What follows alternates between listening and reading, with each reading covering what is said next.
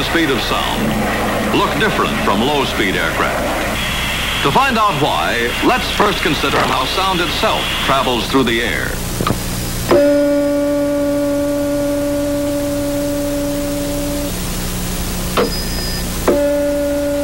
Slowing down the picture shows how the sound is produced. The vibrating prongs give the air a succession of pushes, and like pressure waves along a spring, these sound waves travel on through the air. The air is alternately compressed and rarefied, and as each wave passes, there is a brief disturbance. Sound waves are pressure waves. Like ripples on a pond, they spread out from their small directions at the same speed. All small disturbances in the air, whether audible or not, travel outwards at this same speed, the speed of sound. What is this speed? Well, here's a convenient source of sound at sea level. Let's measure the takes for the sound of the explosion to travel one mile, the distance between these two forts. The flash is coming now. One, two, three, four. The sound took just under five seconds to travel the mile. That is, at sea level, the speed of sound is about 760 miles per hour. The exact speed depends effectively on only one factor, the temperature of the air. The higher the temperature, the faster the sound travels. On a really hot day, it may reach over 800 miles per hour at sea level. But temperature falls with altitude until the stratosphere is reached at about 36,000 feet. Above this height, the temperature remains constant at approximately 60 degrees centigrade below zero. So the speed of sound is lower, only 660 miles per hour.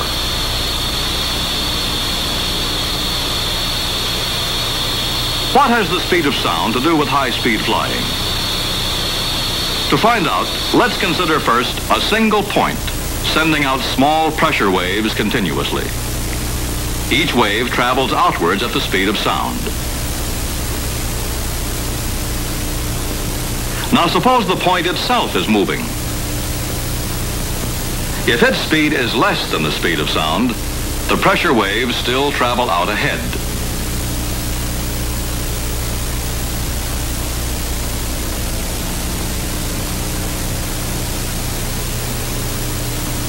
But if the point is traveling at the speed of sound, the pressure waves cannot travel out ahead of it, for the point is traveling as fast as they are.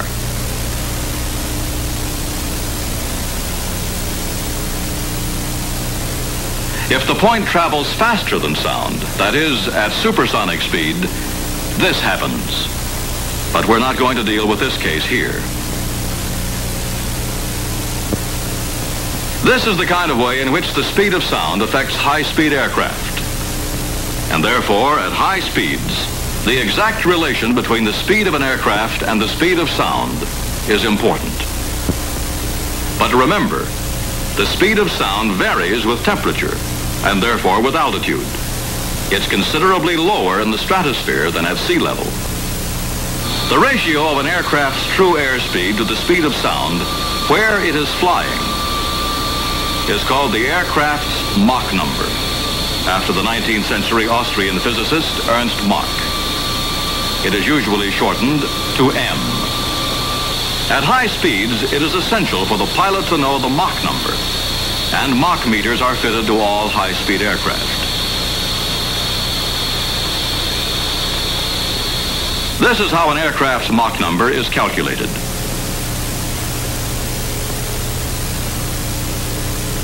The aircraft has flown six-tenths of a mile in the time that the sound wave has traveled ten-tenths of a mile. It has flown at six-tenths of the speed of sound in the same atmospheric condition. So its Mach number is 0.6. This aircraft is flying at Mach 0.9.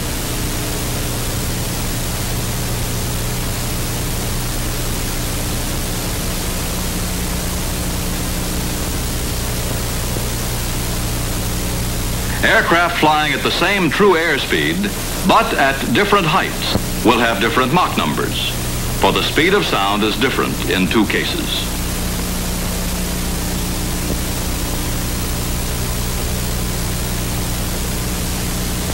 The Mach numbers at which an aircraft is intended to operate have a great influence on its design. An aircraft is much more complicated than the point source of pressure waves we saw earlier.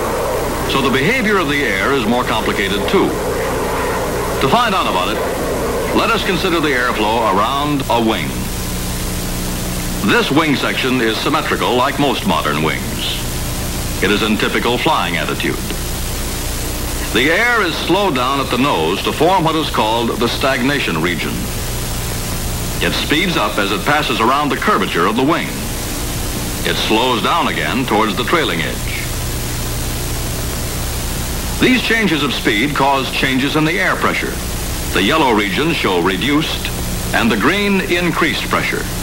All these variations in pressure together produce lift and drag. Now each point on the wing acts like a point source. Here we're showing a few such points. Each sends out pressure waves which travel at the speed of sound and reach the air ahead of the wing.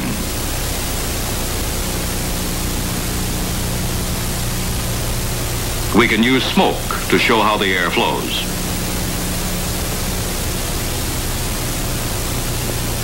The influence of the pressure waves traveling ahead can be seen from the way the streamlines are deflected well ahead of the wing. Lowering a flap changes the entire flow pattern around the wing and affects the airflow ahead.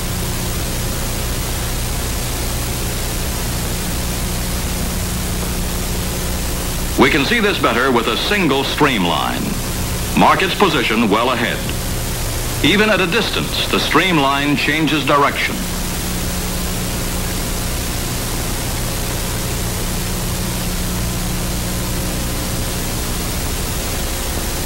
The effect of the pressure waves on the air ahead is of great importance. It smooths the flow past an aircraft flying well below the speed of sound. But what happens when approaching the speed of sound?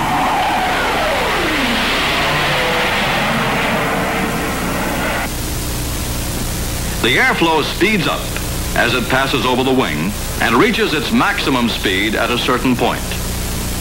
The Mach number here will always be greater than that of the aircraft as a whole, called the flight Mach number.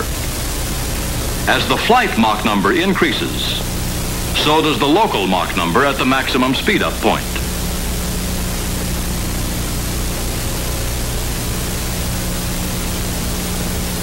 Eventually, though the aircraft as a whole is flying at less than the speed of sound, just at this point on the wing, the air is moving at the speed of sound. The flight Mach number, when this happens, is called the critical Mach number of the aircraft. Usually written M crit. M crit always be less than 1. Aerodynamically, the critical Mach number is very important. For the aircraft has reached the speed at which it meets mixed airflow. Part subsonic, that is less than the speed of sound, part supersonic, greater than the speed of sound. It is the beginning of the transonic speed range.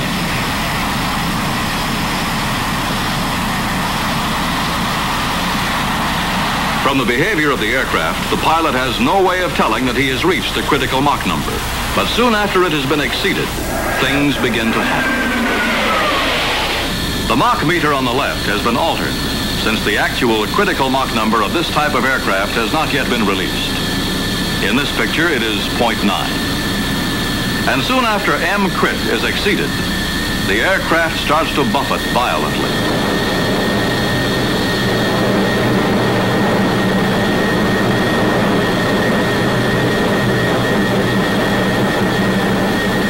Aircraft vary greatly in their behavior above the critical Mach number. Some show violent instability, while others, specially designed for transonic flight, may be little disturbed. To find out why problems arise above the critical Mach number, let's use a high-speed wind tunnel. This one's fitted with special optical equipment to show in colors regions where the density of the air is changing. These effects can be photographed. Their colors appear.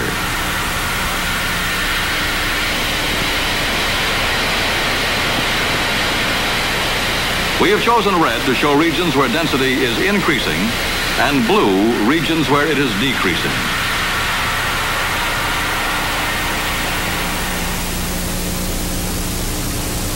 A symmetrical wing section designed for high speeds is put in the tunnel. At low speeds, the air behaves as if it were incompressible.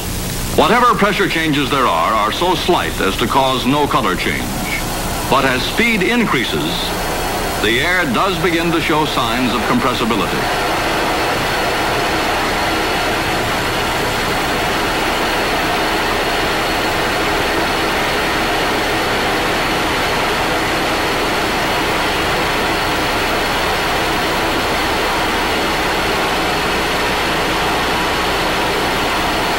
The colors show regions of increasing and decreasing density. The red area at the leading edge is the stagnation region where the air is being slowed down and becoming denser. Immediately behind are two blue areas where the rate of speeding up is greatest, causing a reduction in density. This diagram will remind us of what's happening. As the flight Mach number increases, the flow at the point of maximum speed up on the wing reaches Mach 1, the speed of sound. The wing has reached its critical Mach number. And when this is exceeded,